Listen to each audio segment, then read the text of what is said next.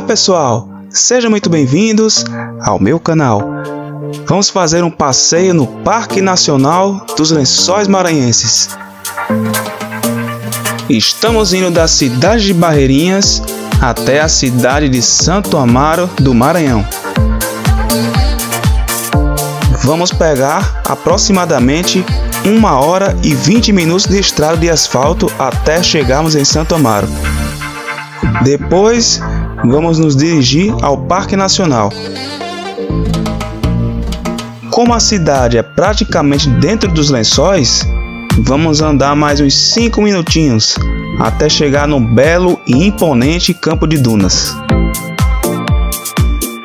Como a ponte sobre o Rio Alegre já foi construída, não vamos precisar atravessar o Rio Alegre por baixo. Com isso, a travessia se tornou muito mais rápida e tranquila.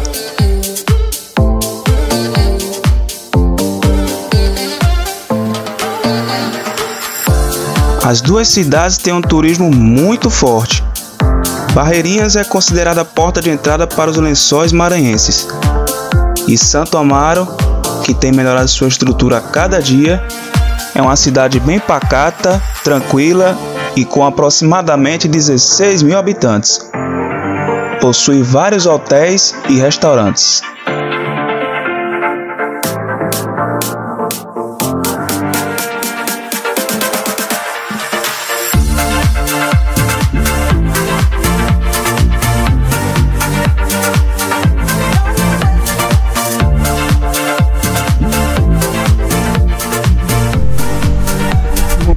Estamos aqui na região de Santo Amaro, na cidade de Santo Amaro, né? A gente tem uma paradinha para é, pedir o almoço, né? A gente pede almoço antes de ir pro passeio. A gente tá em Santo Amaro, praticamente dentro do parque, né? Santo Amaro fica na beiradinha do parque ali, praticamente dentro do parque. Então aqui a distância para as dunas é pouca. Estamos aqui no restaurante do Amaro se não tiver enganado, né? Alguém que vê aí, queira me corrigir, né? E aqui é a Hilux. Geralmente as, os carros são 4x4. São carro 4x4 porque a estrada é punk. A gente pegou mais de 1 hora e 20 de asfalto e agora a gente vai pegar. É, a gente vai pegar a parte das dunas, né? Na parte da duna tem que ser 4x4.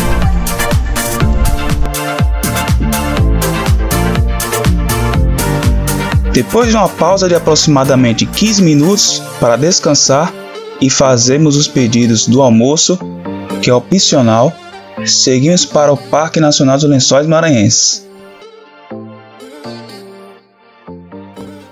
Aos poucos, vamos observando que as ruas vão virando trilhas de areia. É o sinal de que já estamos bem mais perto.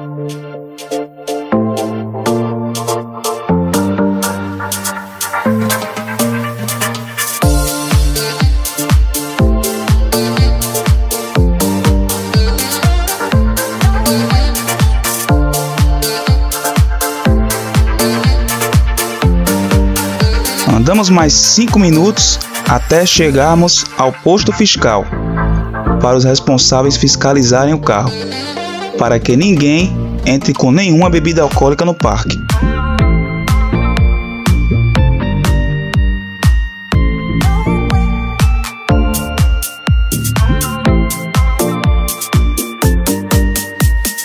Após entrarmos no Parque Nacional, percebemos que, mesmo o tempo estando parcialmente nublado, o campus de dunas é muito imponente. Lindo demais! Independente do volume do lençol freático.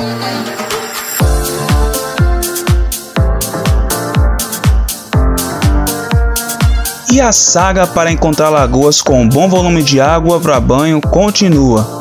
Será que vamos encontrar hoje? Fica ligado no vlog porque esse está imperdível.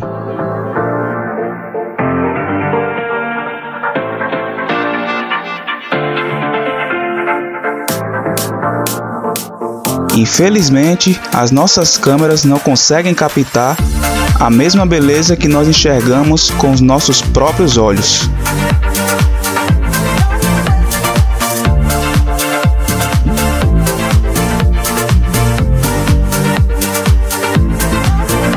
A melhor época para se visitar os lençóis e ver a maioria das lagoas cheias é entre os meses de junho, julho, agosto e setembro, após o período de inverno que chove bastante na região.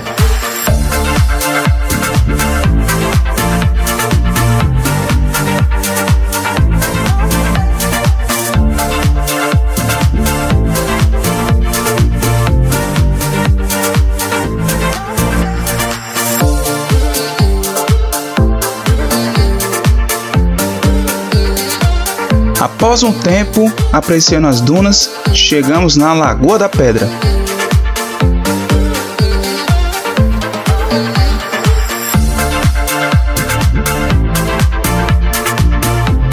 Mesmo com um nível na altura da cintura, ela ainda estava bonita e apta para o banho.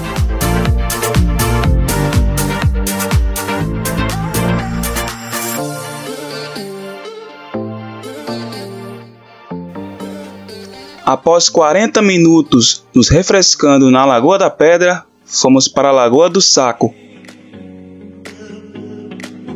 Algo me disse que é a melhor lagoa do circuito hoje. Lagoa do Saco.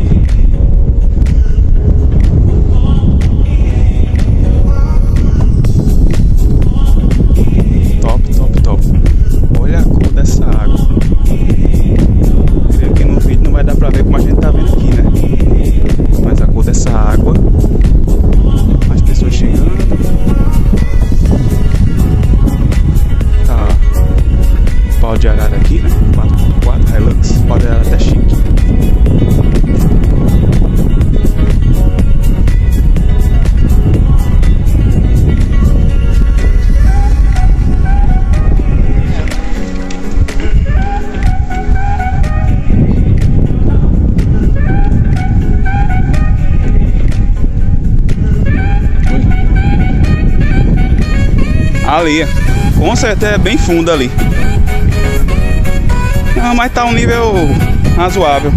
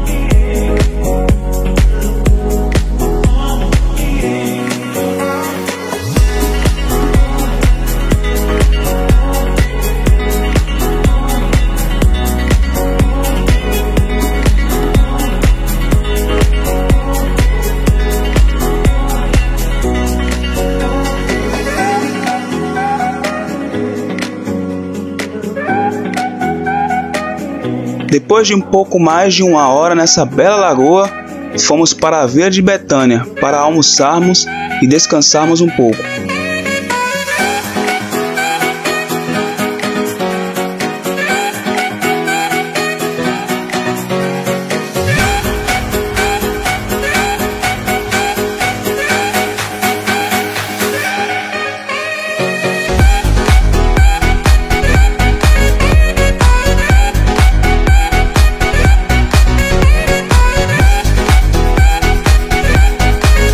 Conta do baixo nível do Rio Alegre, não vamos poder fazer aquela famosa travessia até o restaurante Cantinho da Felicidade.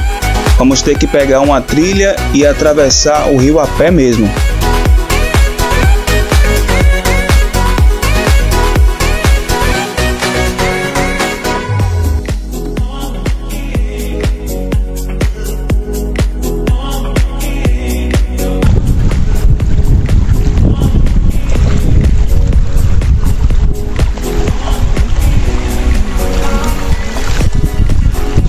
Né? O negócio aqui é diferente. Tem o pé na água mesmo.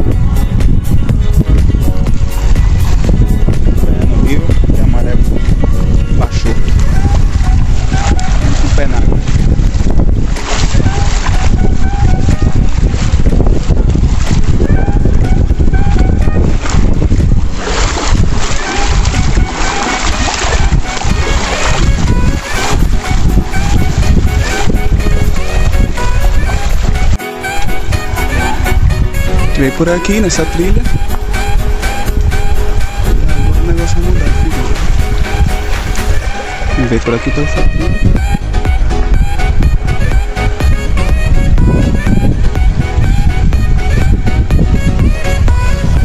Dá de novo. Tem uns peixinhos.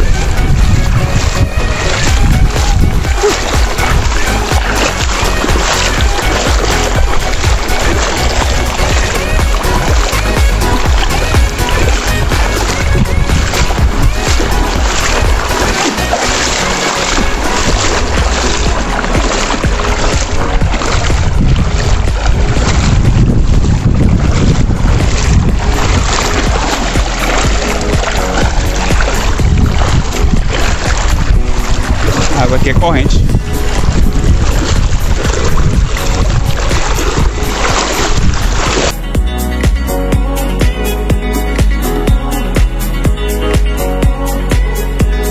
É muito bom depois de uma bela aventura e um ótimo almoço poder apreciar um pouco mais a natureza e os animais.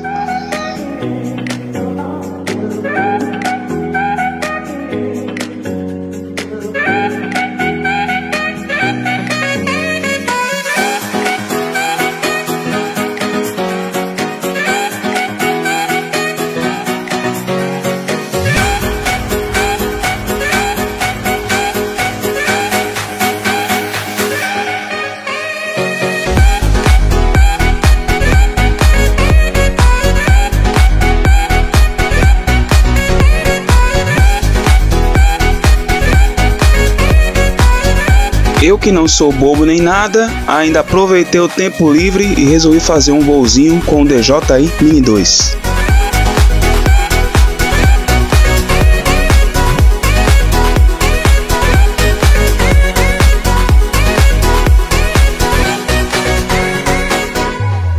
Agora o papo é sério. Mais uma vez vemos que o aquecimento global provocado pelo homem está afetando até algumas lagoas do Parque Nacional. A Lagoa Betânia, que é a principal do circuito e nunca tinha secado, está praticamente seca e sem condições para o banho, porque o inverno desse ano não foi muito intenso. Algo que nunca tinha acontecido, pois ela é considerada uma lagoa perene, ou seja, nunca seca e pode chegar até 5 metros de profundidade. É isso mesmo, ela pode chegar até 5 metros de profundidade. O que pode acontecer é o seu nível diminuir bastante, mas nunca chegou a este ponto de não estar apta para o banho.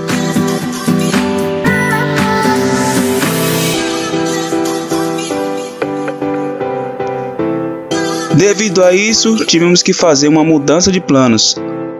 Fomos para a Lagoa das Andorinhas.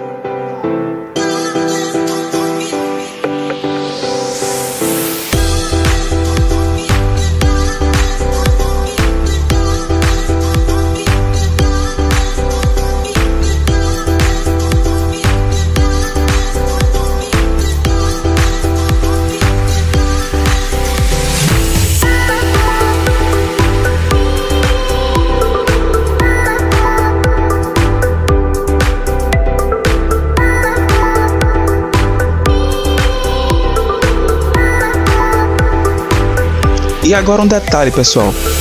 Como acabei tirando o celular do gimbal para aproveitar a Lagoa das Andorinhas e por conta dos fortes ventos, a imagem não ficou lá essas coisas.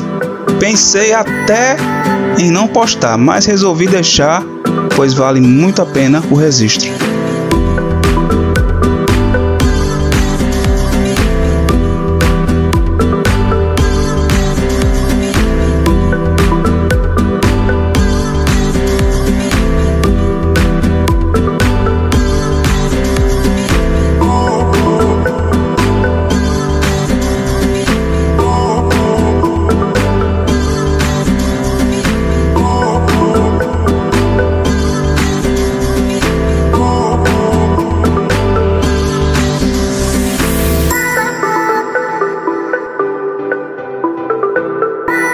Para finalizar o ótimo dia, fomos ver o pôr do sol na Lagoa da Gaivota.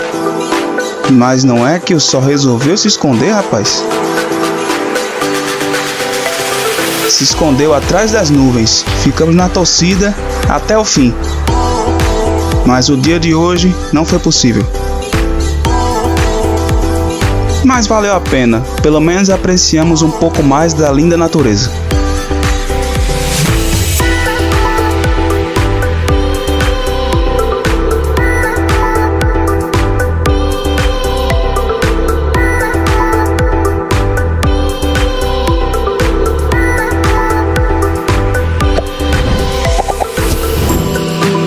Está gostando desse vídeo? Então deixa o seu like, aproveita para se inscrever no canal e ativa o sininho de notificações para o YouTube te avisar toda vez que tivermos um vídeo novo. E é com esta linda imagem da Lagoa do Rancho que eu me despeço por aqui. Muito obrigado por assistir esse vídeo. Até a próxima. Fui!